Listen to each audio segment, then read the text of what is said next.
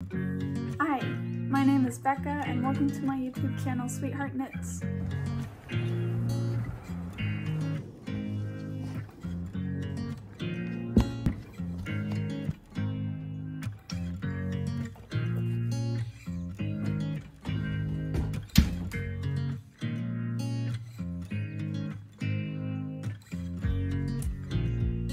This is where I talk about whatever I want to, mostly knitting, sometimes sewing, at some point crochet. Um, I do lots of fiber arts and I'm hoping to get into sewing this summer. But this is where I talk about all that stuff and make videos about all that stuff and talk about what I'm making. Um, so thank you for joining me today. I wanted to sit down and film a little podcast episode. Um, I filmed my first one a couple of weeks ago. It got a lot of feedback, which was awesome. Um, it was really exciting to see so many people interested in what I was making. Um, but that was my Everything of 2022 video. And I went over everything I made last year, or everything that I could find that I made last year. Um, so I thought it would be fun to kind of share like what I'm making right now, the WIPs that I have, um, and the finished objects that I have for 2023 so far. Um, so let's go ahead and get into that. I think that I'll start off with finished objects. Okay, um, so first of all, I'm wearing my Easy Beanie by Brandy Cheyenne Harper, um, and a sweater that I bought at a thrift store like three or four years ago that I did not make. Um, but this hat I did make. Um, it's the Easy Beanie by Brandy Cheyenne Harper. I wear the bejeepers out of this thing. It's like a year and a half old at this point, and I probably wear it a third of the year every year when it gets cold like this. Um, it's made out of Farmer's Daughter Fibers Pishkun, um, which is their Rambouillet base. I absolutely love it. It's aged really well. I didn't really like working with it when I made this beanie. Um, when I made it, I had COVID, so I like didn't have focus for anything, which is why I made it. It's a super easy pattern. Um, but when I made it, it was kind of difficult to work with. It was very, it was almost dry. Like the, the wool was super, super dry. It kind of felt like working with cotton. If you've ever worked with like a really, really um, dry, unrefined cotton, that's what it felt like. Um, and there was some VM in the in the fiber, which was fine. I don't, it doesn't really bother me. Um, but at the time I was really cranky because I had COVID and every time I would get like a little branch in my yarn, I would be like really, really irritated. Um, but I really, really recommend it. It's held up so well and it's aged beautifully. Like it's gotten so soft and it's super structured. I do like, um, I like to wear this slouchy and I like to wear it rolling up the brim. So it's like this rolled brim instead of folded over like I have it. Um, and it bounces back really well whenever I like manipulate the brim into a different shape. So I really recommend it. It's great yarn. It's a great pattern. If you are looking for a really mindless beanie pattern, um, I recommend 100%. So let's look at finished objects for 2022. Um, I think I only have one, but the one is really cool, okay? Let me see, where did I put it? There we go. Okay. This is my beautiful shawl. Let me try to hold it out so you can see it. Okay, so this shawl has a bit of a story. So I started off using a pattern. I used um, the Jane A pattern from A Noble Thread on Ravelry. Um, and I, like, I, I used, it's a, it's a pretty traditional triangular shawl pattern. So I used the garter tab and cast on and all that. Um, but I pretty quickly got rid of the pattern. Like I used it, I used it for like maybe 20 rows and then I went off and did my own thing. So I freehanded these lace panels and the stripes and um, completely changed the border of it from the Jane A shawl. And I really like how it came out. It, as you can see, it drapes awesome. Like, the drape on this is so pretty. Um, I used, I used, um, Peddler's Pack Alpaca. It's, it's, it's gotta be a really small farm somewhere. I bought it off of, um, somebody's D-stash on, um, Reddit. Somebody was selling it and I got two skeins. Um, I think I ended up with eight ounces of it um, from that D-stash for like $15. Um, but I snatched it up because I really liked the color of it. It's this, it's this blue. And then I held that double with um, a Knit Picks Aloft mohair, which is also blue, as you can see. And then for these white sections, I used Juniper Moon Farms um, Merino, also held together with the Aloft mohair. Um, and this was this was a pretty good stash buster for me. All three of these yarns were in stash, and I ended up using all of the Aloft mohair. Like I have no grams left. like I actually um, ran out of it halfway through my cast off and had to do the rest of the cast off just with the alpaca. Um, but I really like it. It came out really nice. I wish it was a little bit softer. I had anticipated it softening up a little bit more than it did. Um, I'm not gonna lie.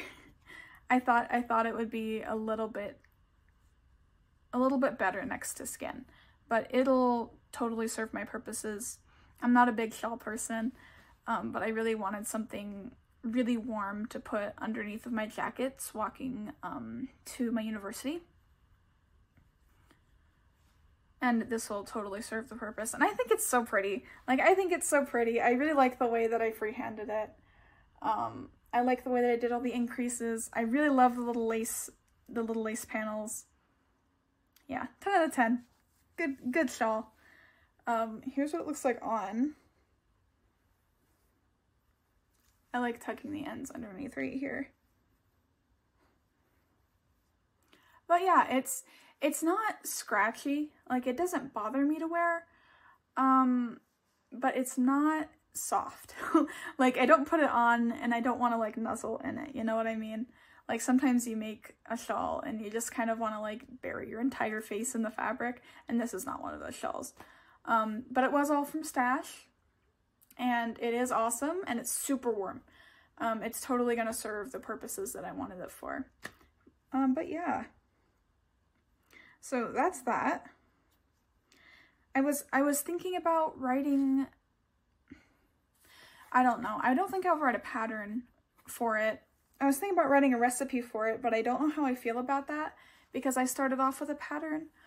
Um, like I don't want, even though this obviously looks nothing like um, the Jane A shawl, I don't want to use somebody else's intellectual property. Like I'm just not sure how I feel about it. Even though the even though that pattern is really basic and I only really used like the basic um, increase instructions for how to make a triangular shawl. Like, I just don't know how I feel about it. So I'm kind of going to ruminate on that one for a bit longer, see what I think. It's it's a really pretty, I really like the way that I did it. It's really pretty. Um, so I might I might write a recipe someday, but I need to kind of figure out how I feel about that and if that's like a morally gray area or not for me. And right now I don't know. So I'm just gonna let it sit and let it be. I have everything written out that I did to it in my notebook, so if I end up wanting to do something, I can. Um, but as of right now, I'm satisfied to just let it be. um, but yeah, I have really pretty pictures of this on my Instagram. I'm not gonna lie. I don't usually plug the Instagram here, but I really like the way that I photographed this. so if you want to see pretty pictures of this shawl, go check out my Instagram in my bio. Okay, let's move on to WIPs.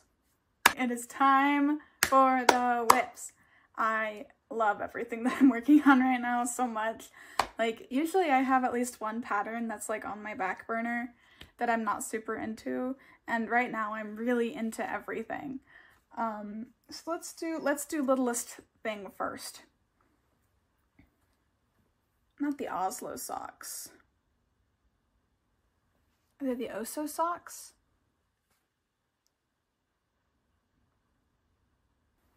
We're looking this up.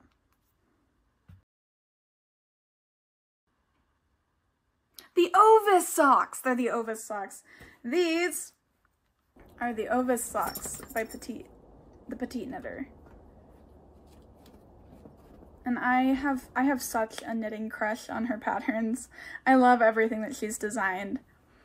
Um, and these are just like super cute all over colorwork socks. I love the little sheep motif. Like, I think they're so cute. Um, I, so the way the sock is designed is you knit all the way through. Um, there's an afterthought heel, which I am going to do. I was kind of going back and forth on it. Um, I've done afterthought heels before, and they fit me quite well. I just don't really like stopping in the middle of a project to put in a line, and I don't like having to go back and do a heel after I like already want to be done with the sock. But I'm gonna do it anyway because I like the way that she has it designed, and with an afterthought heel, I can, I think, reinforce the heel better. Um, because it's gonna be really important to reinforce the heel on these because they are my first non-superwash socks. So I'm knitting these socks out of um, two different colors of Cloudborn Highland wool. Um, I think it's espresso and natural. Um, I'm really, so the reason that I, I decided to do this is one, um, I knew I wanted to make this sock in neutrals. That's the way that the Petite Knitter has her sample worked up and I really, really like the look of it. Um, so I knew I wanted to use neutrals and I also knew um, that I wanted to use stash and I didn't have um, any superwash sock yarn in stash that was in neutrals and I didn't want to buy any. Um, so that was the first thing and it's really cold right now here in Colorado. It's actually snowing really hard as I'm recording this podcast. Um, and while I love my hand knit socks, I do get cold in them. Um, so I was hoping that if I use some non-superwash as like a good house sock or as like a dedicated, it's really, really, really cold out sock, um, even though it would be like getting wear and it would probably wear out faster, it would be warmer. So that exchange would make it them worth it, in my opinion. Um, so my hope is that if I reinforce the heel um, by doing like, I'm thinking I'm going to do like every other stitch color work with these. So I have like some really thick floats on the back. You know, do, do one stitch in natural and one stitch in espresso and switch off the entire heel. My hope is that if I do that, um, the floats will help reinforce the heel and it'll keep from getting holes longer. I know it inevitably will get holes because it's a non-superwash sock, but hopefully it'll last longer that way. And then I'll have like some really nice, dedicated, warm, thick snow socks. But yeah, I really, I really like the way this is working up. I think it's really, really cute. Um, I'm really excited to just kind of wear them. I've, so this winter has kind of been the winter of me realizing that I really need to make myself some good thick boot socks and some good thick socks because it's so cold here and I commute to my university usually about three days a week per semester um, and my commute involves a 20 minute walk and on that 20 minute walk I get really really freaking cold so it's really important for me right now to like actually make things that are significantly warm so I don't have to wear like 12 layers of of clothing to school. Um, and warm socks are a very important part of that process, I have learned. So I think that's going to be what a lot of my focus is this summer. I do a lot of socks in the summer because, you know, it's summer and I don't want to work on a whole sweater. So that's, I think, going to be a lot of the socks that I make this year. But this is going to be the first one. I'm really excited. I'm having a really good time. I really enjoy knitting color work. Um, so they're kind of they're kind of flying for me because I just want to get through the next repeat, you know. Um, but yeah, I think I'm gonna do so. This sock motif only shows up once. Um, the way that the the sock is typically knit, you do the sock motif and then you just do this um, like repeating colorwork pattern all the way down. But I actually think I'm gonna flip the chart and do another row of sheep right before the um, toe and flip them around so either like facing me if that makes sense. So instead of them being like up and down like this, I'll flip them upside down. So that way they're like this and facing me on the heel. And I think that'll be really cute. So I'm just gonna do that. It'll be fun. Um, but yeah, so that is, that is my current sock. Okay, and then my other two WIPs right now, currently, are both sweaters. Um, it is a very bad idea for me to have two sweaters going on at the same time right now, because inevitably I'll end up leaving one for the other. But I really wanted to. I really wanted to cast on another sweater, um, so I did, and it's just what's gonna happen right now. So, the first sweater that I started first is my Promenade Blouse by Kadri. Well, designed by Kadri. um, and it's this really pretty, like, it's, it's this really pretty striped sweater and it alternates stripes of a DK weight. Um, in her case, it's a DK weight alpaca. In my case, it's a DK weight wool. Um, stripes of a DK weight yarn and stripes of a um, one strand of mohair. So it's this really pretty, like you get these like sheer stripes and these thicker stripes and it's just this really cool texture. Um, and it's also really, really feminine, which is why I wanted to cast it on.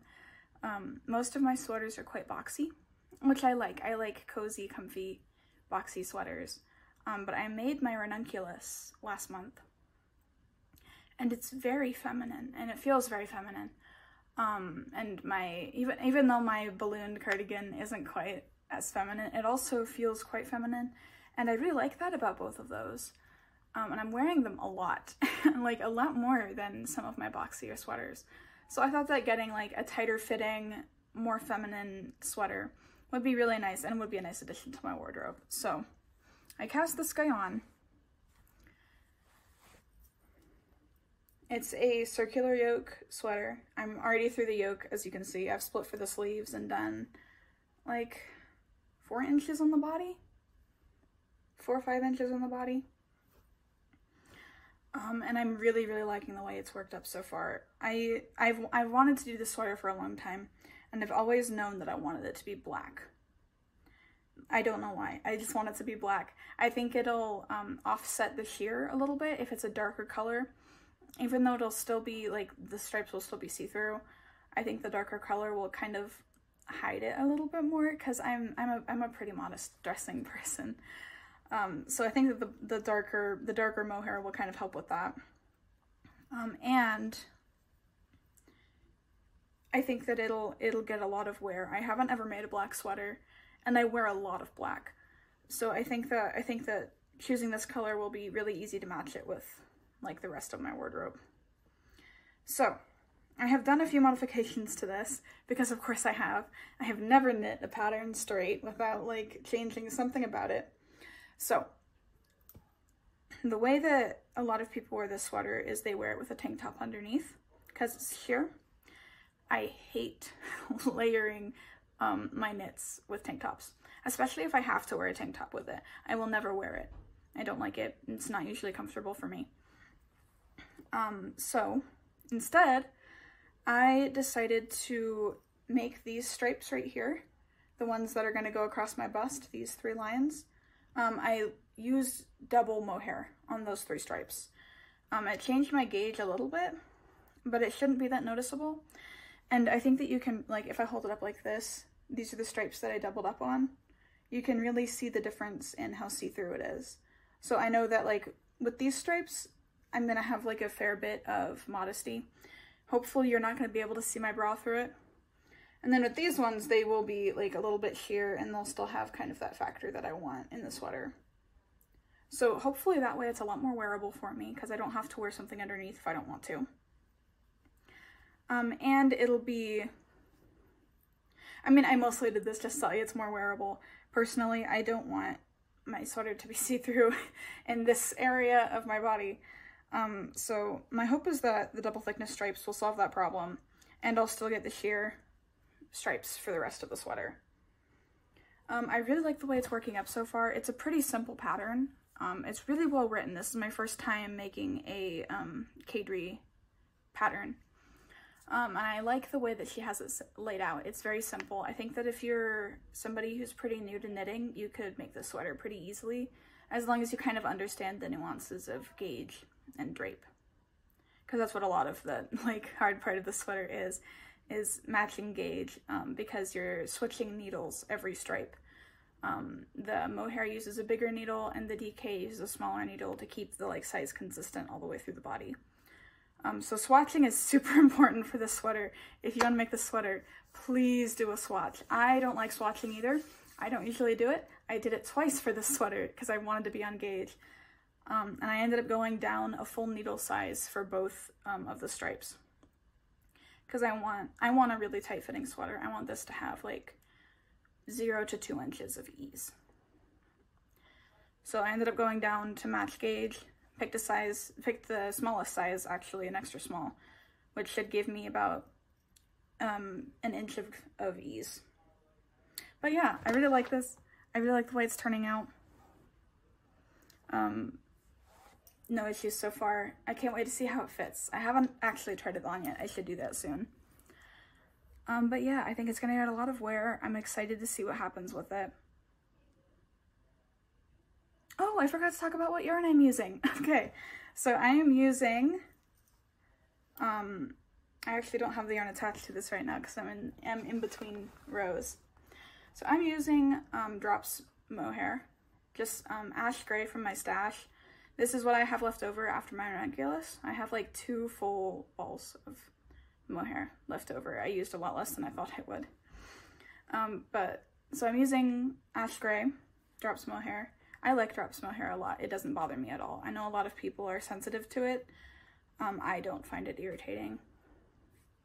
It's inexpensive and I, I am in college, so I don't have that much money to spend on like a higher quality mohair. So I am a big fan of Drops Mohair.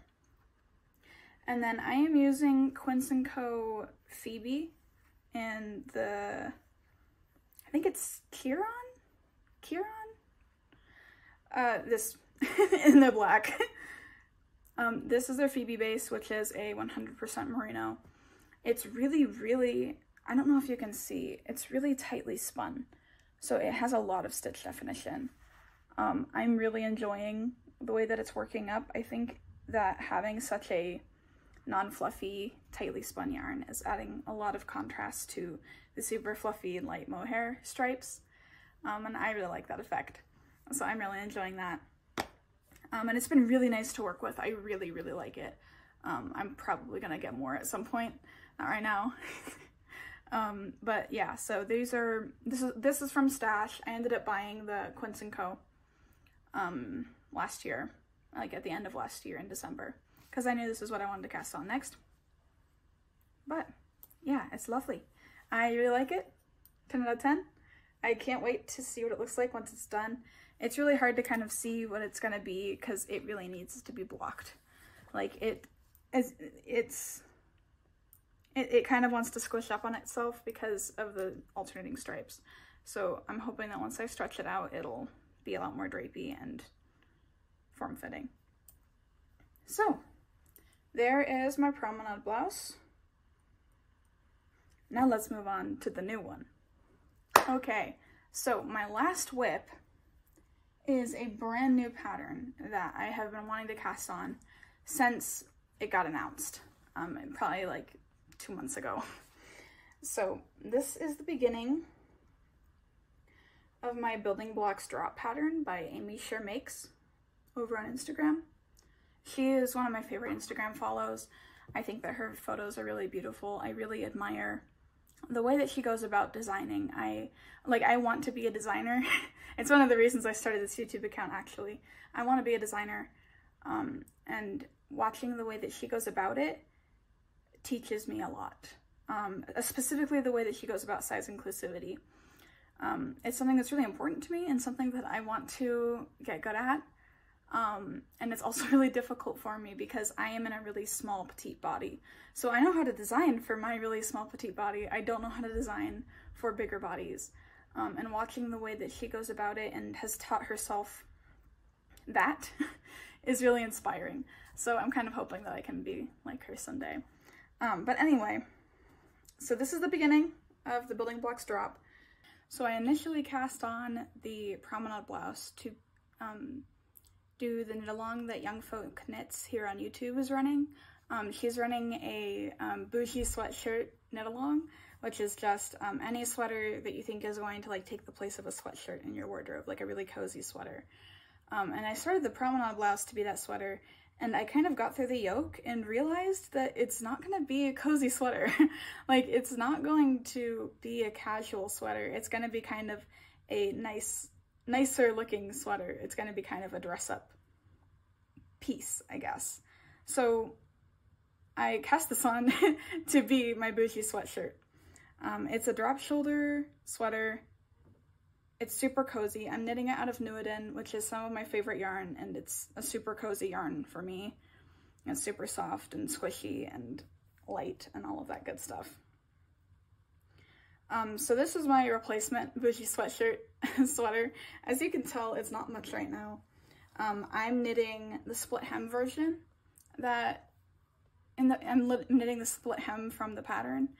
Um, and I'm gonna do kind of contrasting ribbing.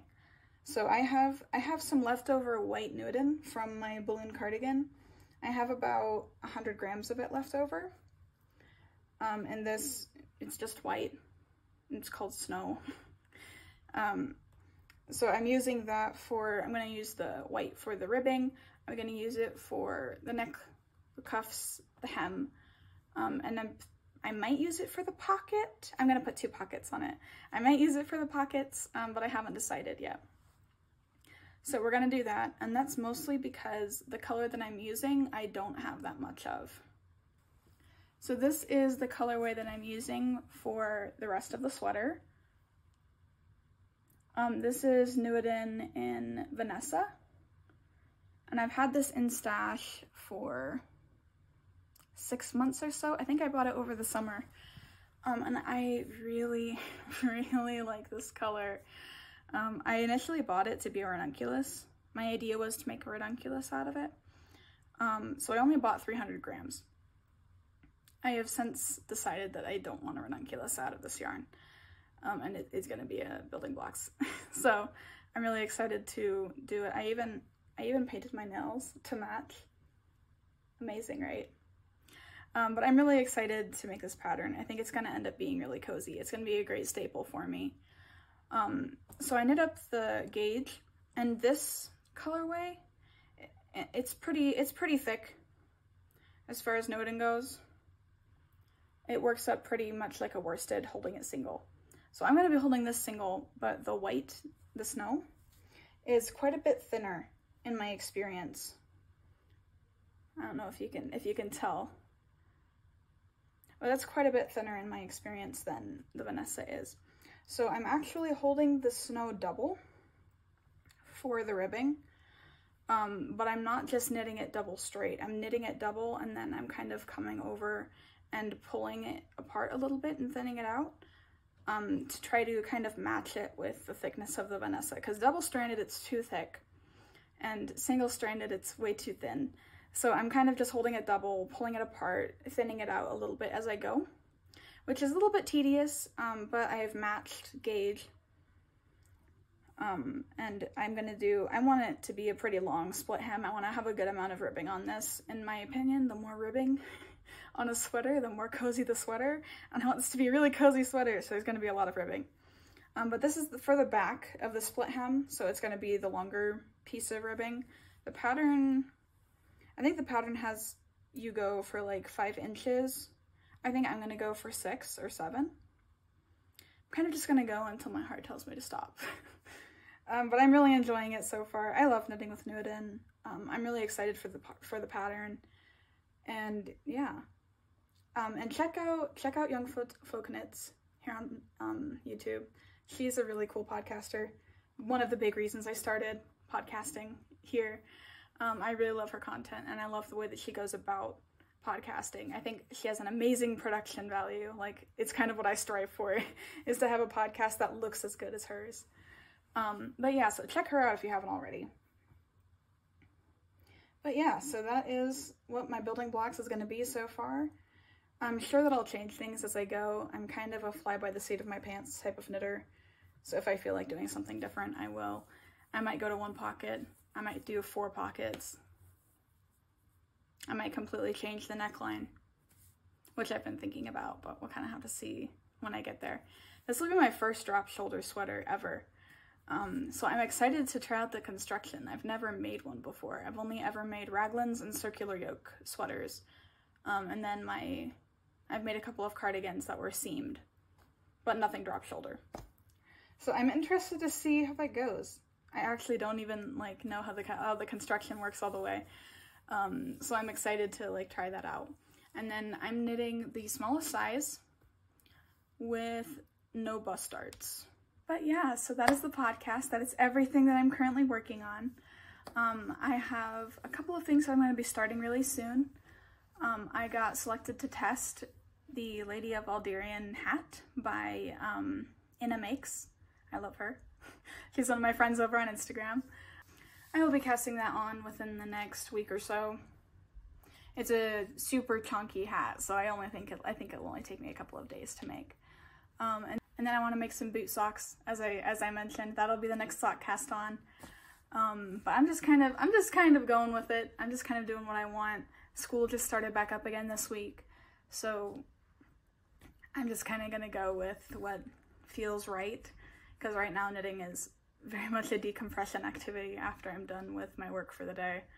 So I'm just kind of gonna go with it, do what I want, change what I want, knit on what I want. and if that means I have 16 WIPs right now, that means I have 16 WIPs right now. um, but yeah, so thank you for hanging out with me. I really appreciate you spending time on this channel and supporting me.